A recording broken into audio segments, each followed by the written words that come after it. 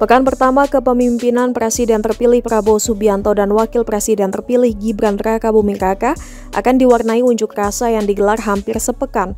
Unjuk rasa yang akan diikuti ratusan ribu buruh itu menuntut penghapusan Undang-Undang Cipta Kerja atau Omnibus Law yang dianggap merugikan buruh.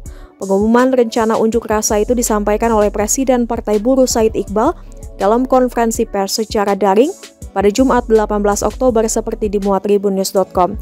Diketahui Prabowo Subianto dan Gibran Raka Buming Raka resmi memerintah Republik Indonesia pada 20 Oktober 2024. Namun Said Iqbal menjamin di pekan awal pemerintahan tersebut pihaknya akan menggelar unjuk rasa secara maraton.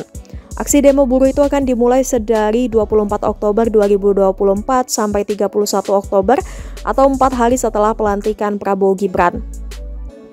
Aksi demonstrasi tersebut digerakkan oleh Serikat Federasi dan Konfederasi Buruh di seluruh Indonesia yang tersebar di 350 kabupaten kota dan 38 provinsi. Said Iqbal menyebut aksi demonstrasi serentak tersebut akan dimulai pada 24 Oktober 2024 di Istana Jakarta dan akan digelar bergelombang di daerah-daerah lainnya seluruh Indonesia hingga 31 Oktober 2024. Adapun aksi tersebut menuntut dua hal, Pertama, buruh meminta kenaikan upah 2025 sebesar 8 hingga 10 persen.